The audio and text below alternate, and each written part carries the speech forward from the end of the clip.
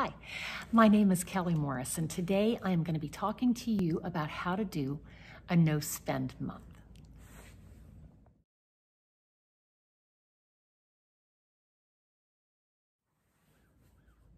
Okay, so today we're going to be talking about a no spend month, and you're probably hearing and reading a lot about the no spend month challenges on the internet and on YouTube and so forth. As you can see, I still have my Christmas tree up because it brings me joy on January 3rd, and I just haven't decided to take it down yet. But no spend months do not have to happen January 1st. Um, they can happen any time of year. And actually, I like to do them a couple of times a year, the beginning of the year, and then somewhere around mid year, just to shore up my spending, just to tweak the finances just a little bit more. So if this is a kind of content you like to hear about or anything about homesteading or sustainability, hit that subscribe button below so that you can be notified of, um, of this kind of content when I post a new video. So today, now, if you happen to be one of the people that um, has decided to take this journey with us for a month on Gently Sustainable, um, I'll have that that um, link below. You're going to get a couple of things. You're going to get a, uh, a, a, couple of free printables to help you uh, along this month. So we've got the no spend month here, the first and the second. You see I've colored in because I had successful days still kind of fun to color in no matter how old you get. And then I've got another uh, printable that will help you get through the month with just tips and, and that kind of thing that you can keep on the fridge and keep track of how you're doing on your no spend. But if you'd like to have support and you'd like to receive a daily email with tips and tricks and ideas and encouragement to keep you going through this whole month, sign up for our um, no spend month challenge. And uh, I think you'll really enjoy it and find it, find it helpful on your journey. Okay, so when you do a no spend month, remember this is a choice that you're making. Um, it's actually one of the best financial decisions you can make. And I'll tell you why is because taking a month off from any uh, discretionary spending, uh, things like eating out and buying clothes and picking up makeup and uh, that latte out and lunch with your girlfriends and whatever. All those little things add up like you would not believe. It doesn't seem like they would, you know, a dollar here, five dollars there, ten dollars there, who cares? But at the end of the month, uh, you would be completely blown away as to how much money you are just flitting away on um, on things that really don't matter. Actually, and if you don't believe me, take an envelope and put it in your purse or your wallet or your car or whatever. And for an entire month, uh, write down every single expenditure from the gas you buy, from the pack of gum you buy at the gas station, from that coffee you drive through and get or lunch. If you write everything down for an entire month and keep your receipts and keep track of every single dime you spend, believe me, it, there is so much money going out the door that is not going to pay down debt, pay for college, and, and meet other sinking fund needs that you might have.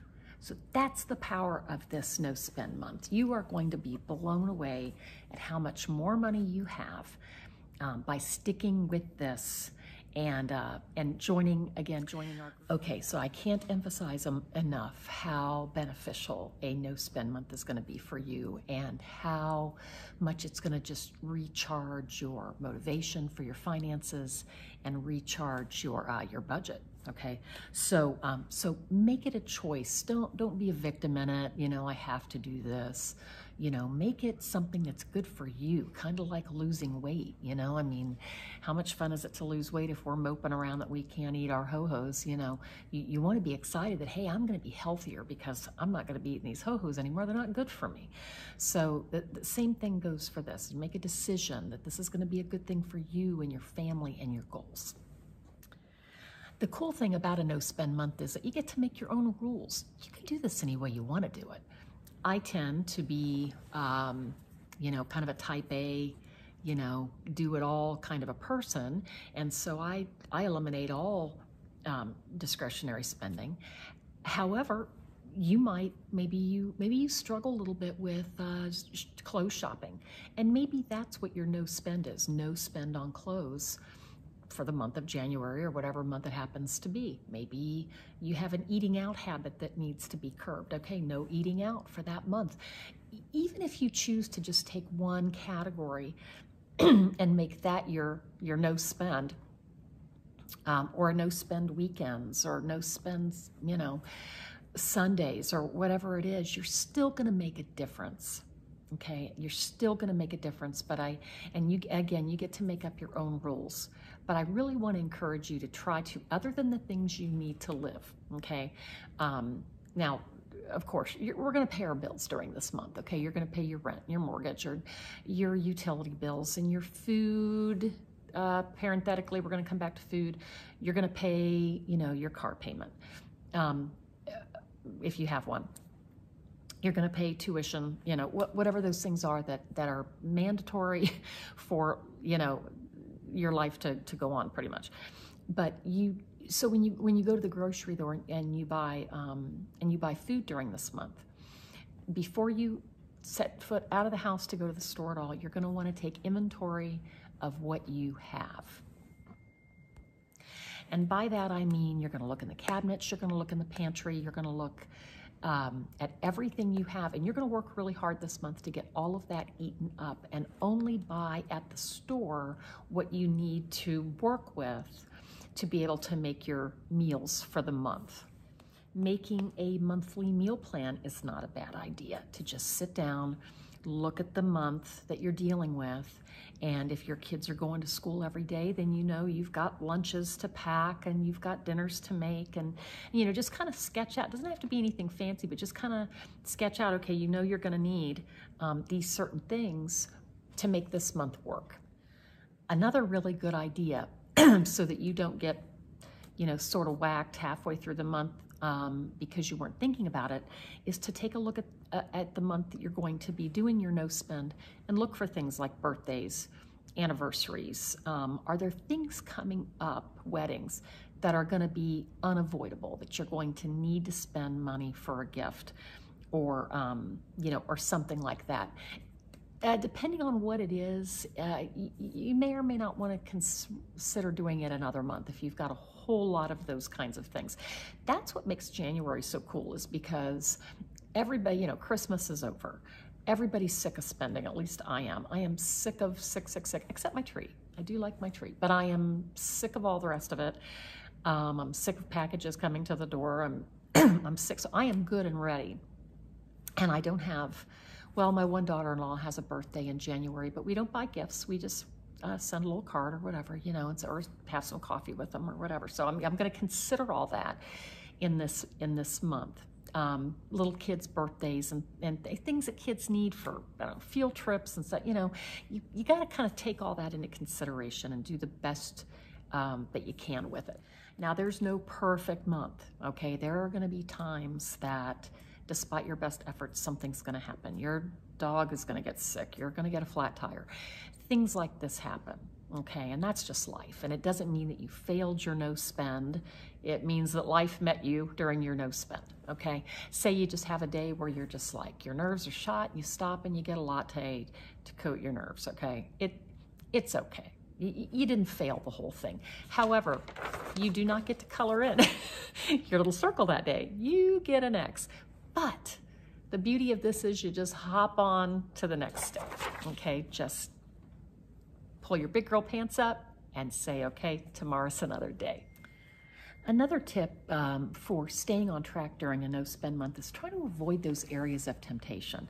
Um, don't go to social gatherings you know, or avoid them, or sort of rewire them. You know, if you've got a group of friends that likes to get together and go out for lunch or dinner or whatever, or drinks, I guess, if you do that kind of thing, you know, make it a uh, make it a potluck at your house or at their house, and um, and don't spend anything, you know, to go out. Um, tell, share with your friends and family that you're doing this. Um, so that they don't just think you're cheap this month. Just say, you know, I'm trying to kind of get ahead on some bills and get ahead on some other things, and I'm doing a no spend. Is there any way we can work around that? Okay, so there's something to think about. I have a friend that I like to have coffee with once a week or so, and um, she knows. if she's watching this video, she's laughing now. She knows that in January I'm not going to go out for coffee and that she's going to come over to my house and I'm going to make her some muffins or something, and we're going to drink coffee at home. And, um, and it's just, you know, it's just the way we do it. So, um, anyway, another thing to remember is that during the month of January, if you've noticed, everything is on sale, right? All the Christmas stuff, all the decorations, all the crap that the retailers couldn't get rid of now is 70, 80% off, okay? You don't care, okay? You don't need it. I don't care if it's 99% off. It still is going to cost you 1% of that sale price. And you don't need it that bad. You really don't. I mean, unless it's, uh, you know, medication or, yeah, I mean, there is nothing at the store that most of us can't live without. And here's the thing about sales they keep coming around, you know? Um, here, here's the other thing about sales um, is that you know, everything has a life cycle, right? Okay, I'm going to give you an example. Uh, on Black Friday, I bought myself an Instapot. Now, I am not, if you know me at all, I am not a big uh, gadget, uh, kitchen appliance kind of person. Everything I have has a purpose and does multiple things. So I just wasn't digging this Instapot thing. Well, I did a little bit of research, was watching some videos. I didn't really realize it was a pressure cooker. I thought it was kind of a glorified crock pot. And so I thought, you know, I'm going to wait and just see. You know, I'm not spending $100. I think they're 119 now or something. I'm not spending that much money. Well, they were half price on Black Friday, 69 bucks.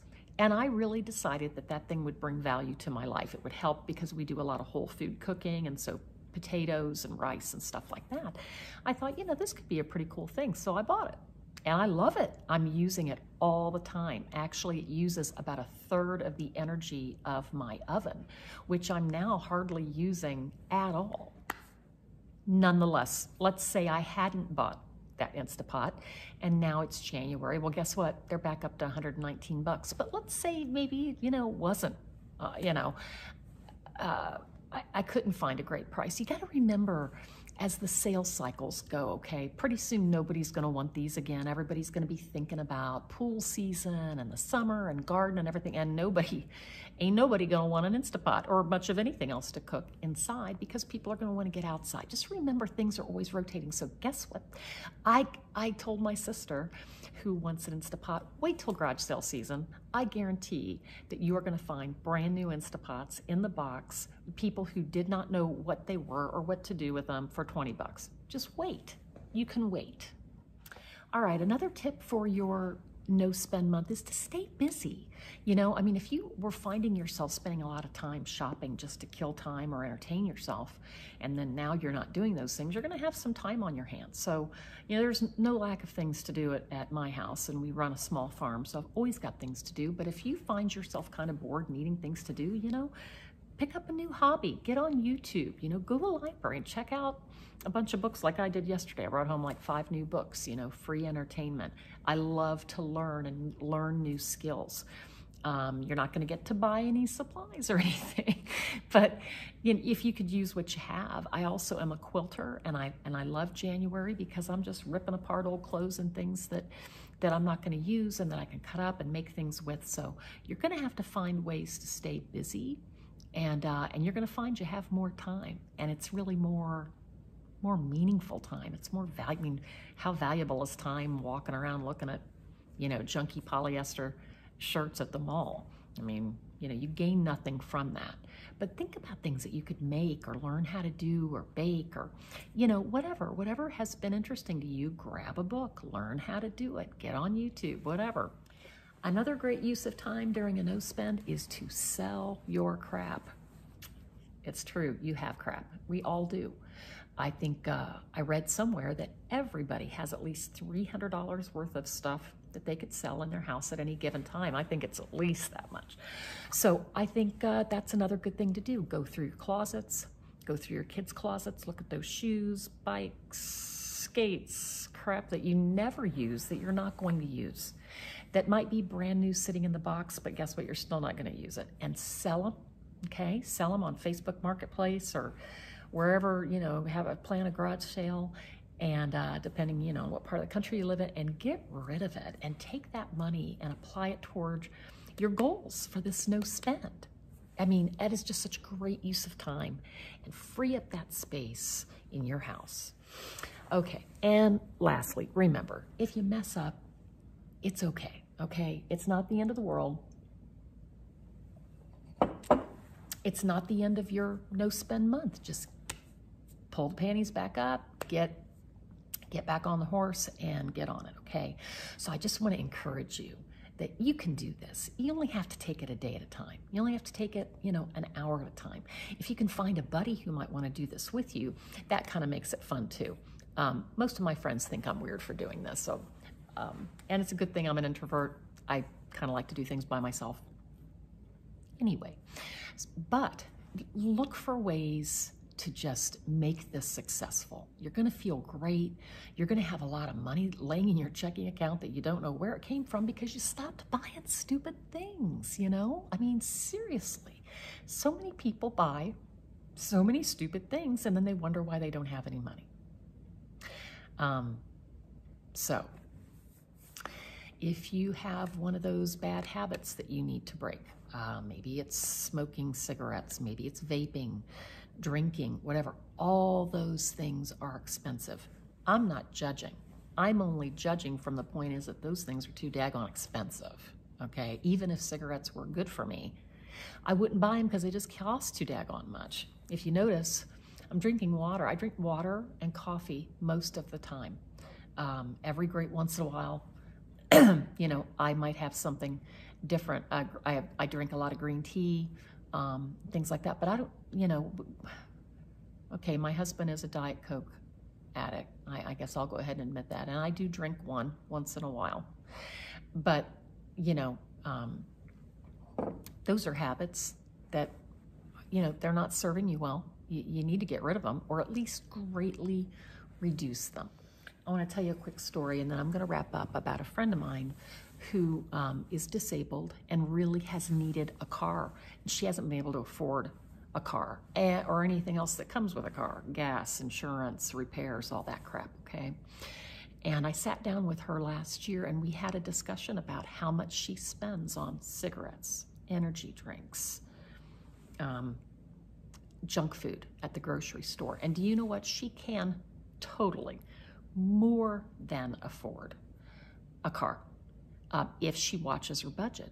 But you can't have it all. You know, you can't you can't have it all, and so you've got to make your choices about if you want to keep those habits. That's fine, but you've got to understand that your financial situation probably isn't going to look much better next year if you don't make some changes. All right, so that's it for me today. Again, here's my motivation: college. Got two kids in college right now. Uh, we're trying to help them get through without any debt. And so that is my big why. And so I really want to encourage you, whatever your why is, write it on there. You know, when you have a day where you wonder, what, what in the world am I doing this? Oh, that's right. I don't want my kids to graduate with a whole bunch of debt that they'll be paying off until they're 40 years old. And that's important to me. And your why needs to be important to you. So sit down and think about it, you and your spouse, or if you're not married or whatever, think about what your why is, or you might have several whys, whatever, it's yours. It's your no spend month. You can make it anything you want it to be. Just make it good, okay? And again, if you like this kind of content, subscribe. If you think you have a friend who might like this video, share it, thumbs up, all that junk down there. Thank you, and I'll see you soon.